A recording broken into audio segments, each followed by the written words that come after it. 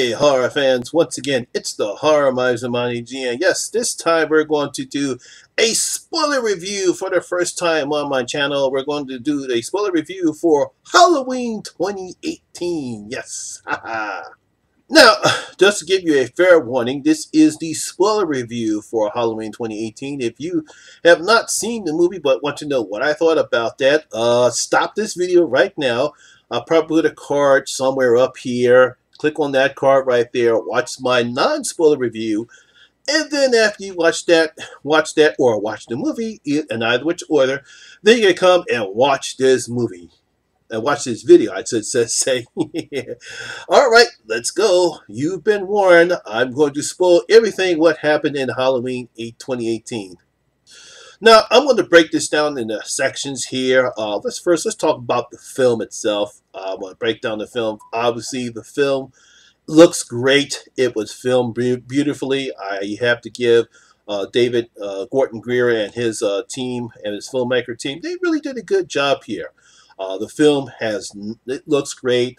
first of all, the opening scene, which you probably seen in the trailers about Michael and the how he's standing there and we have the two British journalists interviewing him. That looks nice. Uh, I'm pretty sure that um, that's what they do for um, mental patients and facilities to get their exercises. They'll have them standing on blocks and this nice open space so they can get their exercise. So that scene was pretty good. I like that opening scene right there.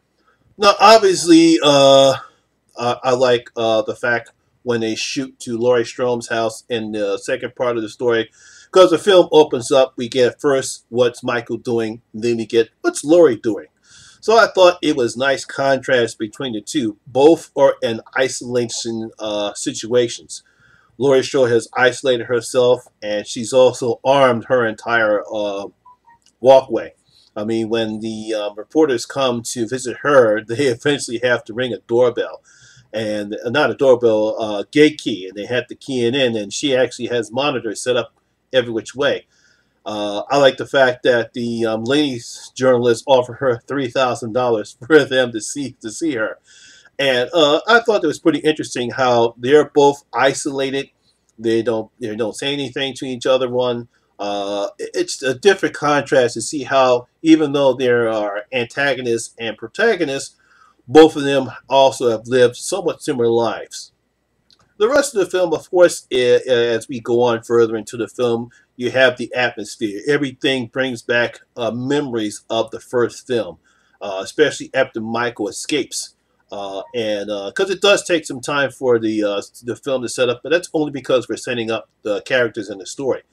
But once Michael escapes and he puts on that iconic mask, that's when we get hearts back to everything that the first film was. Now, it's a lot different than what Rob Zombie did in his movie. Now, I like I said before, the problem with Rob Zombie's film was that, uh, which I don't like remakes, after Michael gets grown and he gets his mask on, it's just a carbon copy of what happened in the first film.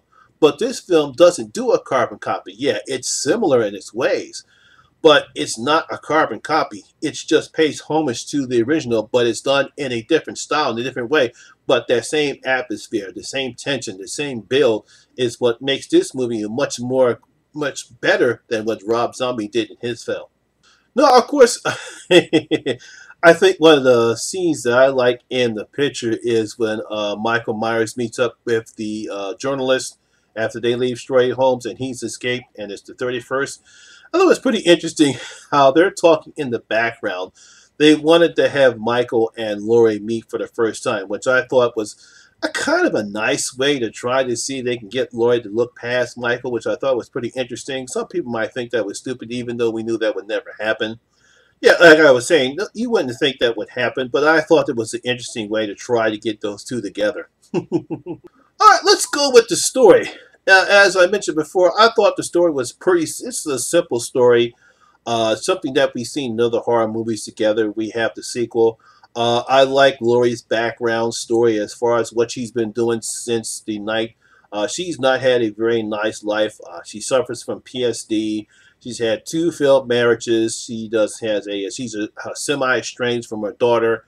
While she does try to maintain a somewhat relationship with her granddaughter, but you can tell that she's still uh, affected by what happened to the events, and uh, how she deals with it is that she decided to isolate herself.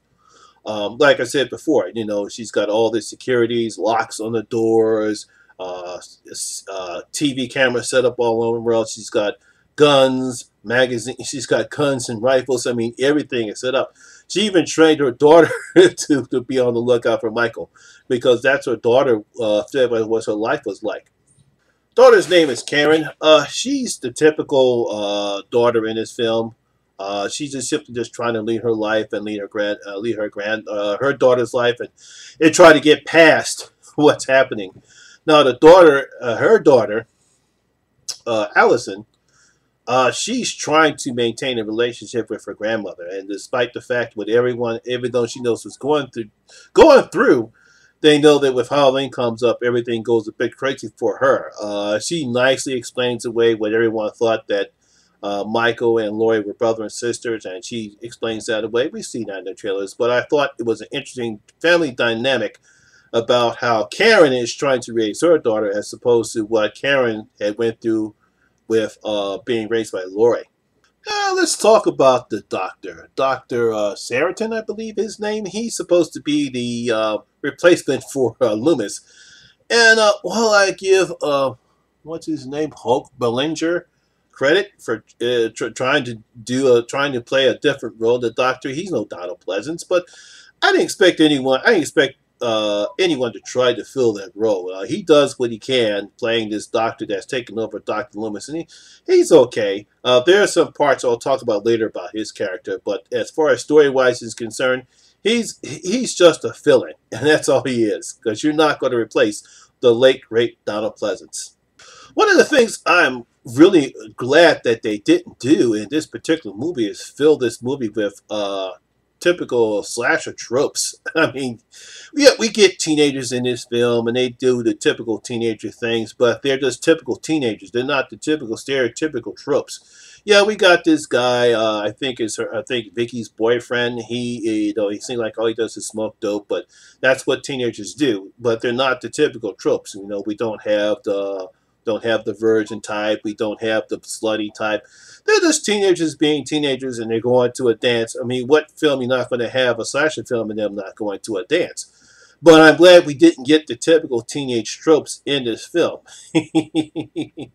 now, one of the things I kind of didn't like in the film, uh, during the bus escape, when Michael, when the bus crashes. Now, we don't see the crash, a father and son drive up and they see the bus crash. Now the father, he gets out of the car immediately and takes his and asks people for help. Now I'm pretty sure that you would not leave your son alone in a bus crash with a bunch of strange people walking around the place.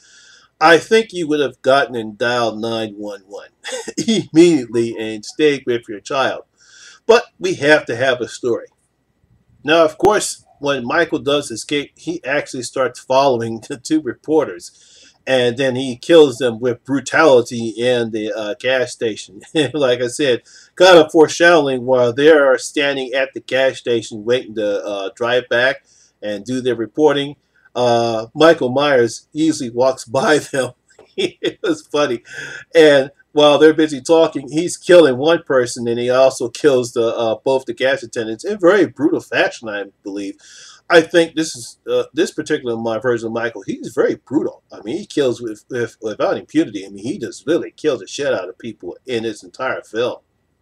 Now, another, I, I guess they decided to add teenage angst in this picture, which I kind of didn't think really needed to be in there. But I guess it's just make us care uh, the Allison character a lot. They, when they go to the party and they're dressed up as Bonnie and Clyde, she's she's Clyde and he's Bonnie, which I thought was kind of fascinating.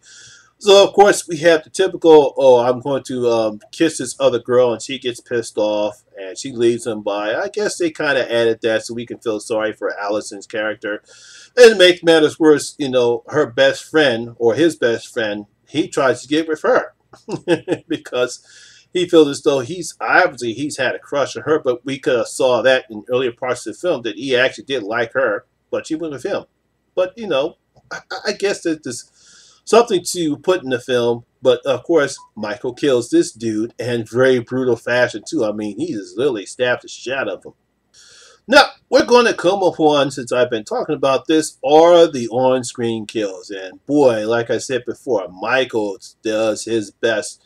He's very brutal in this film. I mean, his on-screen kills are fascinating. Even when kills that we see, I mean, the guy in the gas station, he really just bunges the one guy to death and there's blood all over the place. The cashier looks like he split it, really ripped his jaw open. Uh, when he kills the um, the two reporters in the scene, just brutal fashion, beats the guy up to death and just literally strangles the female, female up and then cracks her neck open. I mean, they don't pull their punches neither. He even kills a kid in the car after he kills his. I mean, you see on the road, you see his father, his neck is snapped in a very grotesque way. Uh, the kid in the car, he gets in the car and kills him. It's like he snapped his neck. They don't pull their punches in this film. When Michael kills, he kills. Let's see, we have other kills in the film. Uh, we saw in the trailers, but a much more extended play in the movie. Uh, he takes a woman's hammer and beats her to death with her hammer and gets his knife. He stabs one woman uh, in the what you call him in the throat after she uh, he strangles her and really just stabs her right in the neck. Not the slit throat time that we mostly see in slasher. He just really just says fuck it, bam, and slaps her right in the throat. Very on-screen kill. Uh, like he said, he kills Allison Friend. He just literally just stabs him right in the back, and, and that was a fantastic kill. The uh, only part I really didn't like, and we're going to get back with the doctor. Now, with the doctor, uh, he seems to be okay. Uh, he gets on the bus with Michael because he feels as though he's my patient until you get transferred over. Uh, then he kills the sheriff. And I guess they wrote this part because I felt as though they, because uh, when it comes to psychiatry and dealing with uh, patients with Michael Myers, they get so obsessed with it that they actually start to want to become more experienced what they're experiencing.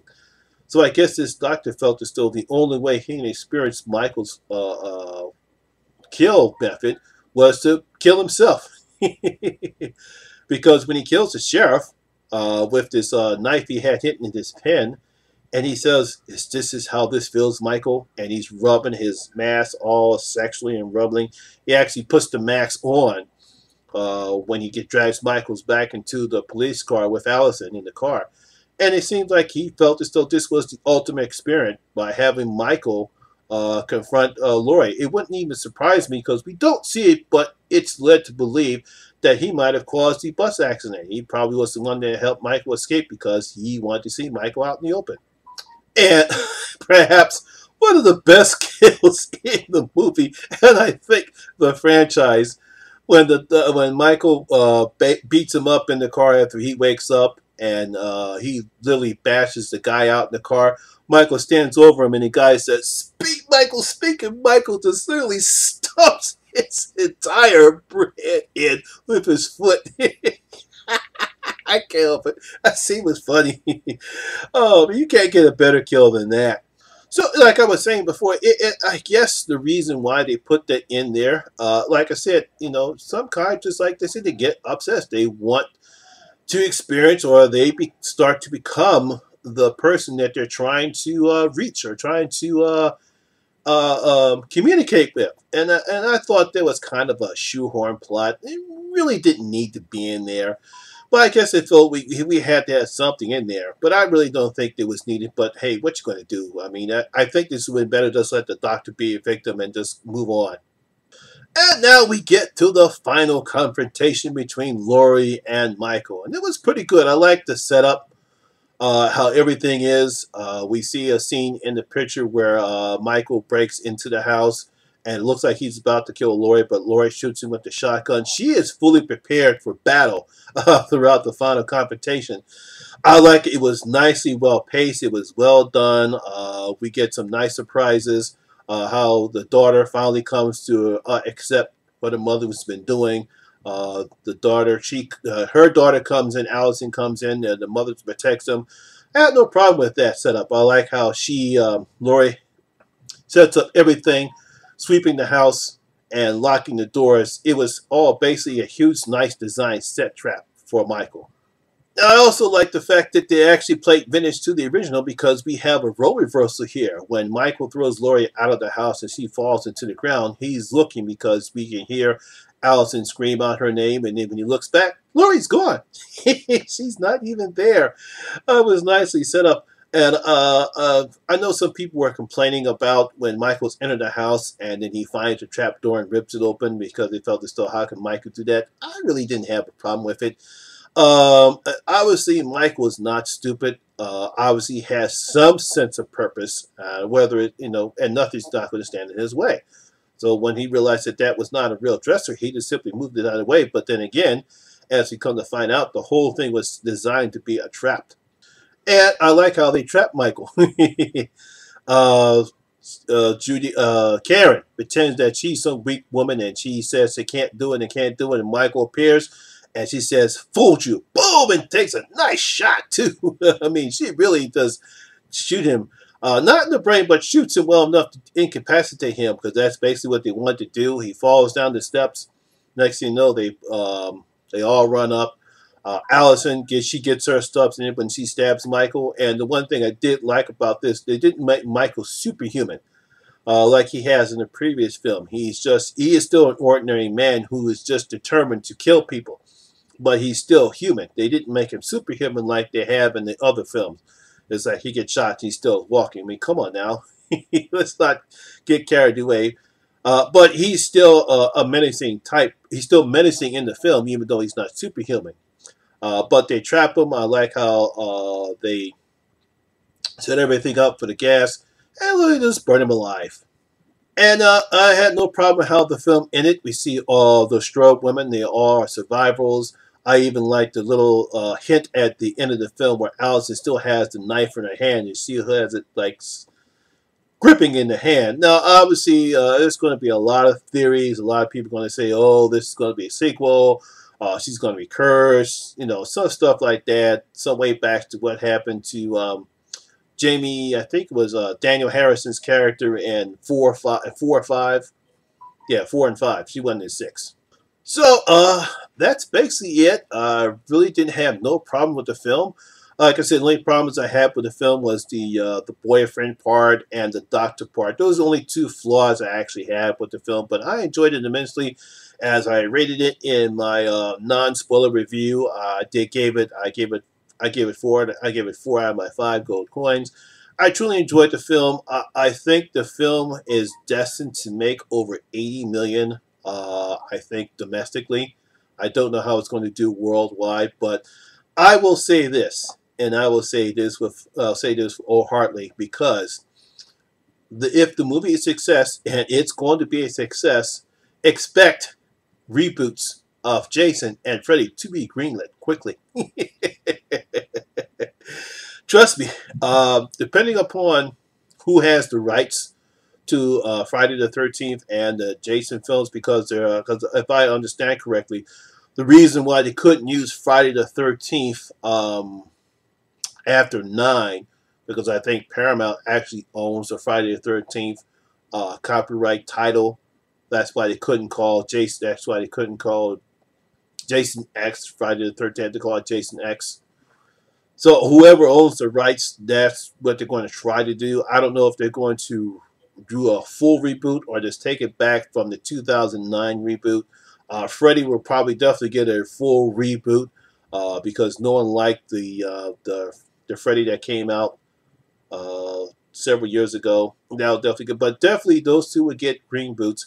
I've also read that uh, Danny McBride would like to do a soft reboot of uh, Phantasm because this movie is going to be a success, and uh, he's going to be a uh, hot to write another horror project. And here we go. We have another comedian, such as Danny, uh, just like Jordan Peele, with uh, Get Out, and John Krasinski with uh, Quiet Place. Uh, we might going to have a new trend where they're going to give uh, comedy people who have been in comedy all their lives to write horror films. so that's it. That is my spoiler review of Halloween 2018. Like I said, I really enjoyed the film. Uh, it gives a, it definitely pays very homage to the original film. It definitely makes up for all the crap that we saw from uh, some of the Halloweens, especially Resurrection and um, uh, some of the part of the Thorn trilogy. Because, like I said, out of the Halloween films that I like, I like one. I kind of like two. Uh, three was okay. I liked uh, H2O. Didn't like four. Definitely didn't like six, and I definitely hated uh, hated uh, Resurrection. so this film definitely makes this up. As I stated in my non-spoiler review, if I were to rank these films, uh, this would be my second favorite Halloween film in the franchise. But what about you, my horror fans? Uh, how would you rank the Halloween series after watching this film? And what do you think about some of the stuff that I talked about today and some of the stuff that you've probably seen in the movie? Uh, leave your comments down in the comment section below and tell me what you thought, uh, how you ranked the Halloween franchise after watching this film. Well, that's my video for the day, guys. Hope you did enjoy it. And if you did, please give it a thumbs up because it does help the channel out a lot. And once again, this is your first time here, please hit that subscribe button and ring that notification bell. That way you can come and enjoy the horror experience with me, the Horror Miser Monty G. And as always, all my social media links will be down in the description box below as well. Once again, my name is Lamont Smith, better known as the Horror Miser Monty G. And always remember, horror rules. See y'all guys later. I'm out.